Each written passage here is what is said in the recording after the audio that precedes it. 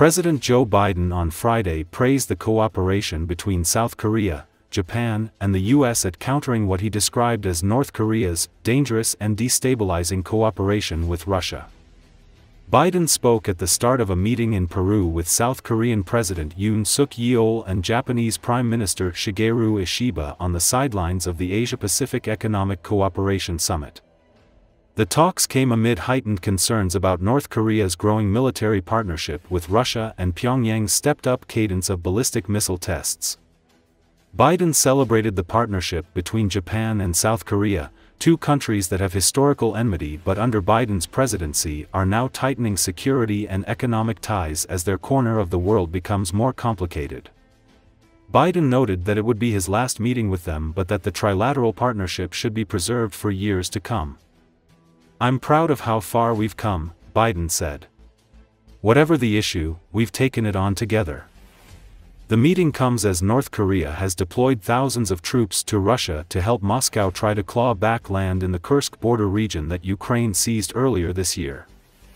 As we can see from the recent deployment of DPRK troops to Russia, the challenging security environment within and outside the region once again reminds us the importance of our trilateral cooperation, Yoon said, using the initials for North Korea's formal name and speaking through a translator. Ishiba also emphasized the importance of the three nations acting as a bulwark against North Korea and pointed to recent military exercises between the three nations as a sign of cooperation. A three-day exercise in June was geared toward improving joint ballistic missile defense, anti-submarine warfare, surveillance and other skills and capabilities and to help the three countries improve their ability to share missile warnings increasingly important as North Korea tests ever more sophisticated systems. I look forward to furthering our partnership in response against North Korea and in many other areas, Ishiba said through a translator.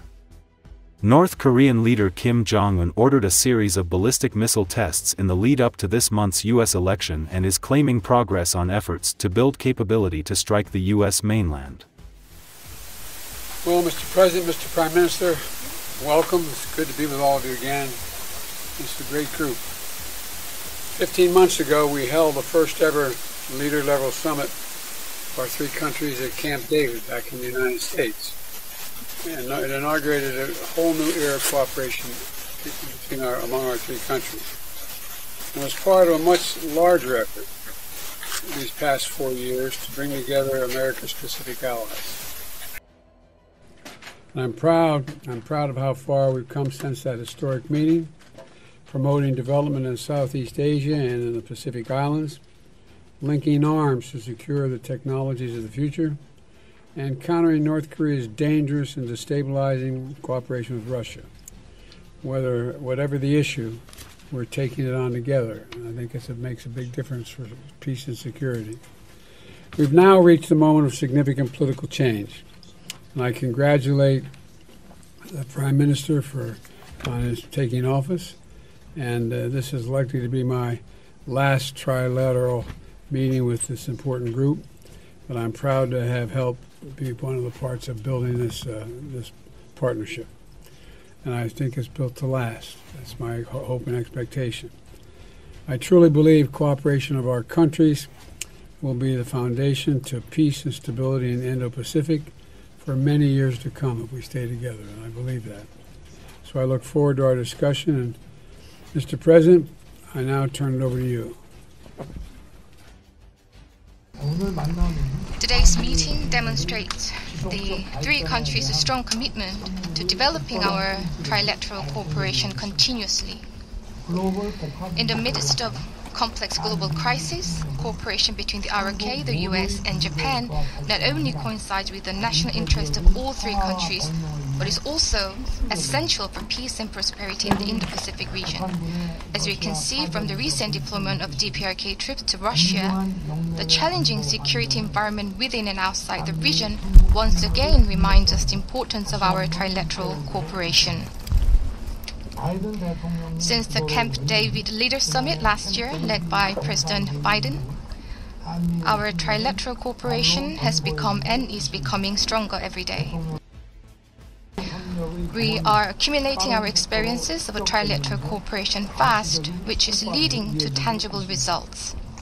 The trilateral cooperation now goes beyond security as it has developed into a comprehensive and institutional cooperation that encompasses economy, advanced technologies such as AI and quantum technology, as well as exchange between future generations. The trilateral secretariat that will be launched as a result of today's meeting will be a strong foundation that will lead to even greater cooperation among our three nations. 環境は極めて厳しいものであります。このインド太平洋地域の発展のためにはそして繁栄のためには日米同盟米韓同盟そしてその戦略的な連携というものは極めて重要であります。昨年のキャンプ・デイビッドでの首脳会合以降幅広い分野でグローバルに日米韓協力が拡大していうことは極めて心強いことであります。特に日本アメリカ韓国の安全保障協力は実施さばかりであります。共同訓練フリーダムエッジに代表されるように新たなレベルに到達していると考えています北朝鮮の対応はもちろんのことさまざまな分野で 連携を緊密したいと考えています Thank you, press. Thank you, Thank gentlemen. you, press. Mr. Thank you, President, press. Mr. Thank you, President, when press. will you respond to Thank you, North Korea press. for sending troops Thank to you, Russia? press. Mr. President, President, what Thank you. concerns are you hearing from Thank you, leaders press. about the Thank you, incoming press. administration? Thank you, press. Mr. President, any concern South Korean opposition leader Lee Jae-myung was convicted of violating election law and sentenced to a suspended prison term Friday by a court that ruled he made false statements while denying corruption allegations during a presidential campaign. If it stands, the ruling could significantly shake up the country's politics by potentially unseating Lee as a lawmaker and denying him a shot at running for president in the next election. But Lee, who faces three other trials over corruption and other criminal charges, is expected to challenge any guilty verdict and it remains unclear whether the Supreme Court would decide on any of the cases before the presidential vote in March 2027. Lee told reporters that he plans to appeal Friday's verdict at the Seoul Central District Court, which gave him a sentence of one year in prison, suspended for two years. Under South Korean law, Lee would lose his legislative seat and be barred from running in elections for five years if he receives either a penalty exceeding a 1 million won fine for election law violations or any prison sentence for other crimes. Lee, a firebrand liberal who narrowly lost the 2022 election to conservative President Yoon Suk Yeol, had steadfastly denied wrongdoing. The ruling at the Seoul Central District Court drew intense media coverage and seemingly thousands of protesters.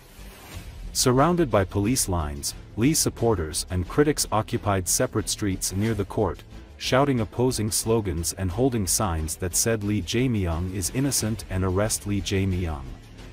There were no immediate reports of major clashes. Prosecutors indicted Lee in 2022 over charges that he made false claims related to two controversial development projects in the city of Seongnam, where he was mayor from 2010 to 2018, while campaigning as the presidential candidate for the Democratic Party.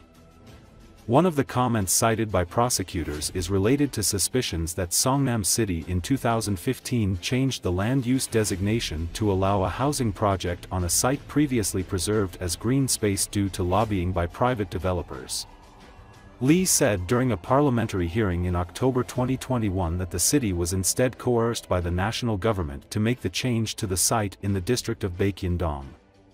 Prosecutors say there's no evidence to back Lee's claim, which has been denied by the Ministry of Land, Infrastructure and Transport. Prosecutors also cited a TV interview Lee gave in December 2021, when he said he didn't know a senior official at Seongnam City's urban development arm during his time as mayor. Lee spoke a day after the official was found dead amid an investigation into a property development project in the district of Daejang-dong, which reaped huge profits for a small asset management firm and its affiliates and raised suspicions about possible corrupt links between them.